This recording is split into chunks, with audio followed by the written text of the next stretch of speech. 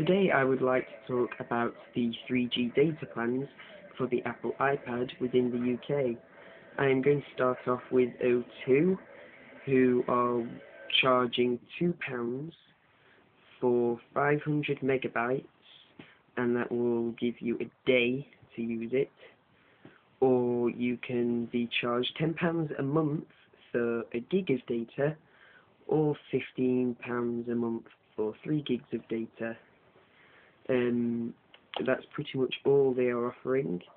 Orange will be offering something very similar with £2 a day, but you will get only 200 megabytes of data.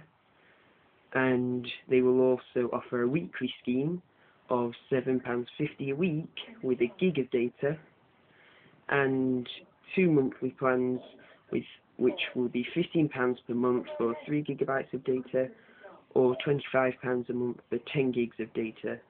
They will also offer a pay for what you use plan, which will charge you 5p for every megabyte of data used.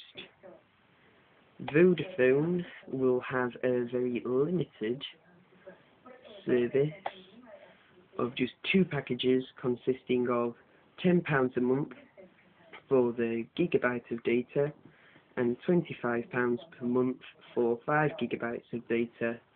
Personally, I prefer the Orange contract with it being the most flexible, um, but I'd like to know what you think.